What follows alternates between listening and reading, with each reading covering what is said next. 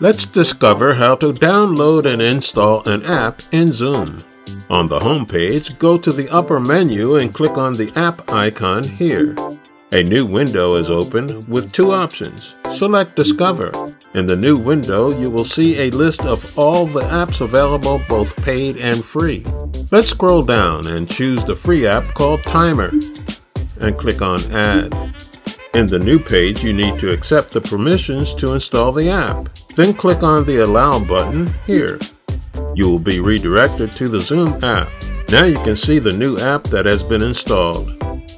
At any time you can locate this and any apps you have installed by clicking the top menu and selecting the My Apps icon here. On the left side you can see all of your apps. Click on the app you want to use and it will be opened.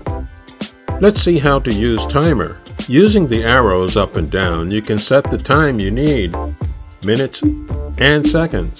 Or, if you wish, you can choose the times already defined at 10, 15, or up to 30 minutes. At the bottom, you can choose if you want to use an audible alert or not. You can reset the timer or just start using it by clicking the Start button. In the upper right corner, you can click the Start Meeting button. A new window is open where you can add contacts and start your meeting with the Timer app ready to be used.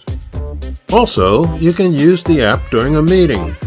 Go to the bottom menu and click on the app icon here. On the right side, you can see all the apps you have. Click on the Timer app and it will open. In this section, you can allow the display timer for others if that's what you want. If you want the app to open in a new window, click on the upper right icon here. The app will be visible for you and others. Would you like us to explain how to install a particular app? Please leave us your comment in the description below. Burn to Learn is working to help you understand the changes in technology as they happen. Stay in the know. Subscribe today.